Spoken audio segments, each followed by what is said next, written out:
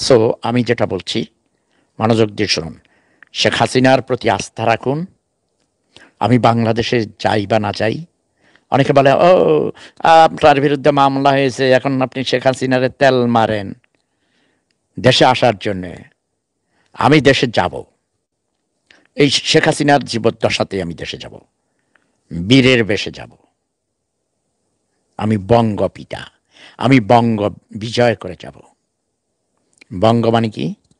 পূর্ববঙ্গ পশ্চিমবঙ্গ আসাম, ত্রিপুরা রাজ্য, মেঘালয়, ঝাড়খণ্ড ও মায়ানমারের আরাকান প্রদেশ। বাংলা ভাষাভাষীদের জন্য একটি জাতি রাষ্ট্র। যেটা ছিল জাতির জনক বঙ্গবন্ধু শেখ মুজিবুর রহমানের মূল স্বপ্ন। সেটা বাস্তবায়িত হয়নি। আমি বঙ্গপিতা। আর জাতি, বাঙালি জাতির জনক বঙ্গবন্ধু শেখ মুজিবুর রহমান, তিনি হলেন বাংলা মানে পূর্ববঙ্গের বাঙালিদের পিতা। আর আমি বঙ্গ পিতা। আর আমি ইউনাইটেড ইন্ডিয়া চাই। আফগানিস্তান থেকে ইন্দোনেশিয়া পর্যন্ত আমি প্রেম সাম্রাজ্য গড়ে তুলব। এবং আমি সাকসেসফুল হব।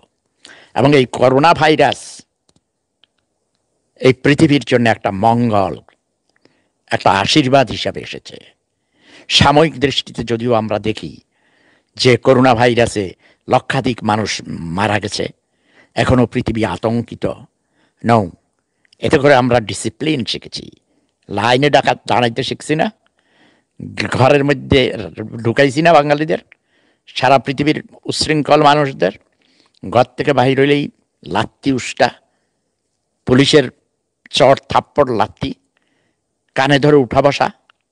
আচ্ছা এ বাদি ভাই আমি বলে রাখি, ওই যে যেই পশ্চিমবঙ্গে কোথাও আমার প্রায় মাসখানিক আগে একজন ম্যাজিস্ট্রেট বুড়ো লোককে কানে ধরে উঠা বসা করিয়েছিল এবং ওই কিছু ফাউল লোকদের কথাবার্তায় সেই ম্যাজিস্ট্রেটের সম্ভবত তাকে সাময়িক বরখাস্ত করা হয়েছে। আমি মাননীয় প্রধানমন্ত্রীর দৃষ্টি আকর্ষণ করছি। আমি জানি হাসু আপা আমার প্রায়গুলো প্রায় ভিডিও দেখেন।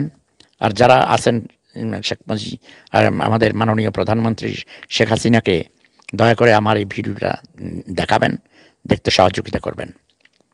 অনেককে আমি অনুরোধ করব, বিশেষ করে ডক্টর সেলিম মাহমুদ, আমার অত্যন্ত স্নেহধন্য ছোট ভাই, বাংলাদেশ আওয়ামী লীগের সেন্ট্রাল কমিটির তত্ত্ব গবেষণা সম্পাদক তিনি মাননীয় প্রধানমন্ত্রীর অত্যন্ত কাছের ব্যক্তি, যাকে আমি আগামী আগামী বার আওয়ামী লীগের সাধারণ সম্পাদক হিসাবে দেখতে চাই।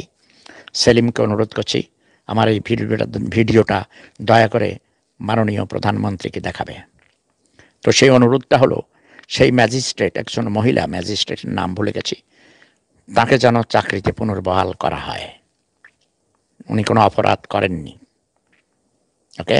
এইসব, ওই দাঁড়িওয়ালা যদি আমিও হই, আমার দাঁড়ি পাকা পাগড়ি মাথায় নো প্রবলেম আমি যদি আইন অমান্য করি, আমাকে কানে ধরে হাজার উঠা বসা করাবে।